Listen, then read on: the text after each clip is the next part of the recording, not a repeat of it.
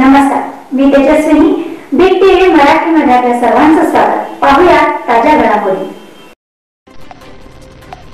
आणि आता वळूया पुढील बातमीकडे. विशाळगडाच्या पायथ्याशी असलेले आठशे वर्षापूर्वीचे खोकला देवीचे मंदिर एका आगळ्या वेगळ्या भाविकांच्या श्रद्धेने चर्चेत आहे. या मंदिराची दुरावस्था दिवसेंदिवस वाढत आहे. हे मंदिर विशाळगडाच्या पायथ्याशी शिवकालीन रस्त्याच्या कडेला आहे. खोकला थांबत नसेल तर येथे भाविक जाऊन नारळ अर्पण करून देवीचे दर्शन घेतात. यामुळे आराम मिळतो अशी भाविकांची श्रद्धा आहे.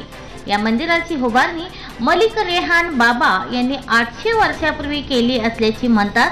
हे खोकला देवीचे मंदिर हे तीन पाय वाटेवरील तिट्ट्यावर उभारले आहे.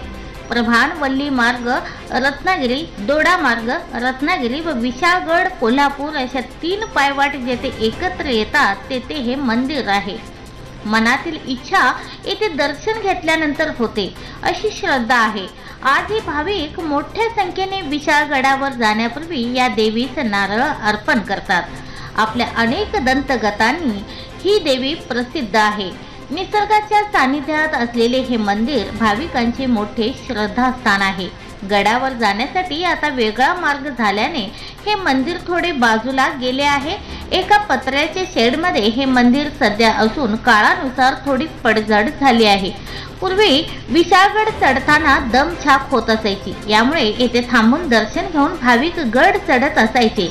यामुळे दमछाक होत नाही खोकला येत नाही.